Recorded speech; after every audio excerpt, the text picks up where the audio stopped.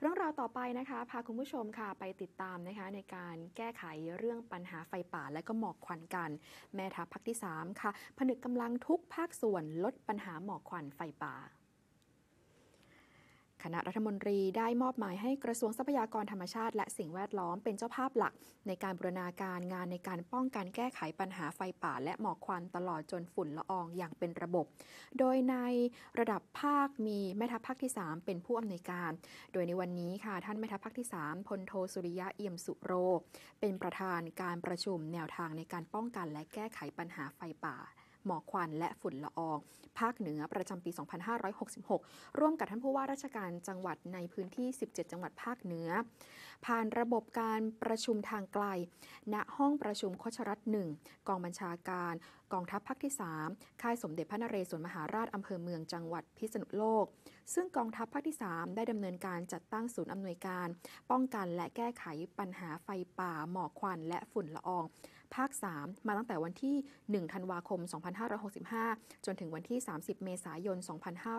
2566 เพื่อสนับสนุนศูนย์อำนวยการป้องกันและแก้ไขปัญหาไฟป่าหมอกควัน และฝุ่นละอองระดับจังหวัดตามสถานการณ์ของปัญหา ทั้งนี้ในภาคเหนือเองนะคุณผู้ชมนะก็มีพื้นที่ที่มีความเปราะบางทั้งทั้งในแง่ของระบบนิเวศ ความหลากหลายทางชีวภาพ และก็ความรู้สึกของพี่น้องประชาชนอยู่ 6 จุดด้วยกัน 19 รอยต่อนะคะ นั่นก็คือดอยพระบาทจังหวัดลำปาง ดอยจระเข้จังหวัดเชียงราย ดอยกองมูจังหวัดแม่ฮ่องสอน ดอยขม้อจังหวัดลำพู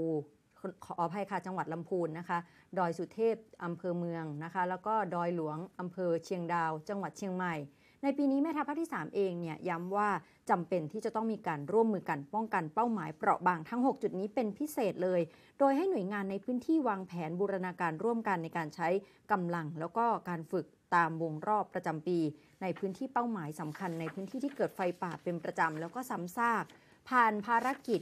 การลาดตระเวน ป้องกันปราบปรามสร้างความรับรู้แบบเคาะประตูบ้าน เป็นการสื่อสารเชิงรุก ยกระดับปฏิบัติการ สร้างการมีส่วนร่วมในระยะยาว แล้วก็ได้จัดทำโครงการตื่นฟื้นคืนชีวิตสัมพันธ์ด้วยค่ะ ที่จะเริ่มต้นทำก็คือการโครงการตื่นฟื้นคืนชีวิตสัมพันธ์ เราจะทำให้พี่น้องประชาชนเนี่ย ตื่นตัวตื่นรู้จากปัญหาของสภาพอากาศสิ่งแวดล้อม ดินน้ำป่าอากาศเนี่ยมันมีส่วนเกี่ยวข้องกับมนุษย์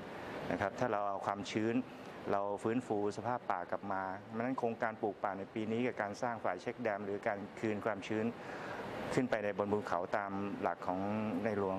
พระบรมชนากาธิเบศในการสร้างป่าเปียกโดยสมบูรณ์เนี่ยเราก็พยายามที่จะทำในระดับยุทธศาสตร์ เพื่อให้เรา ได้ความสมดุลทางธรรมชาติกลับมาในในในที่